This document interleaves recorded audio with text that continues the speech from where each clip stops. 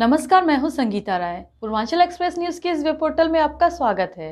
आइए देखते हैं हमारे संवाददाता राम सकल यादव की यह विशेष रिपोर्ट।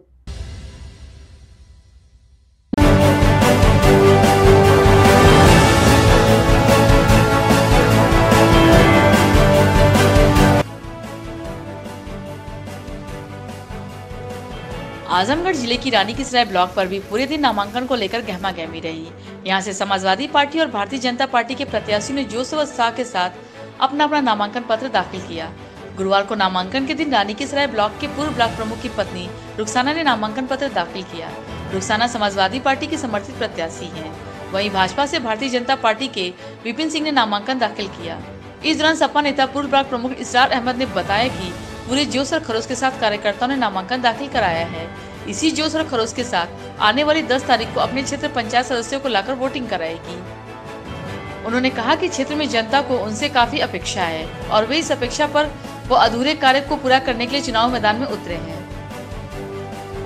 आज पर्चा दाखिला जिस जोश और खरोश के साथ जनता ने अपना आशीर्वाद दिया है, और मैं चाहता हूँ कि इसी इसी तरह से इनका जोश खरोश बना रहे। आने वाले 10 तारीख को वोटिंग होनी है। सभी लोग अपने क्षेत्र पंचायत सदस्य को ले आकर वोटिंग करावें। एक बार जो फिर हमारे घर में प्रमुखी आएगी जिस तरीके की जनता अपेक्षा हमसे करती है उस अपेक्षा पे खरा पहले भी उतरा हूँ आने वाले दिनों में भी खरा उतरूँगा।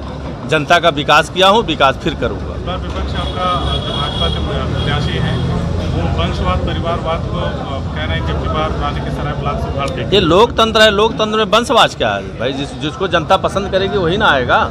जनता अगर हमको पसंद कर रही है तो हम बार बार आएँगे। इसके बाद हमको चुनाव नहीं लड़ना है हमारे हमारे साथ जितनी टीम लगी है इसमें से किसी नए युवा को चेहरा को हम अगली बार चुनाव लड़ाएँगे। हमारे परिवार में नहीं आ- इसके बाद नहीं लड़ेगा वंशवाज कहाँ से होगा? विपक्षी तो कुछ भी कहता है हिंदू मुसलमान की बात करता है नफरत की बात करता है तो उनकी बात हम नहीं करते हम तो प्यार के सौदागर हैं प्यार की बात करते हैं प्यार बांटते हैं प्यार बांटते चलेंगे।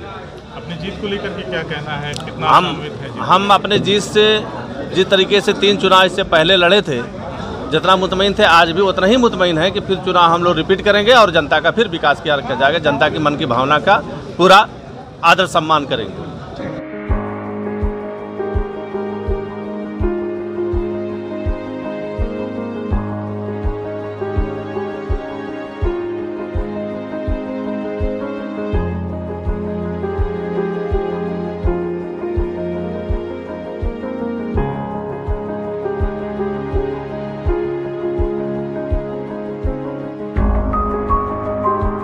अगर आपको हमारी खबर पसंद आई हो तो हमारे चैनल को लाइक, सब्सक्राइब और शेयर ज़रूर करिए।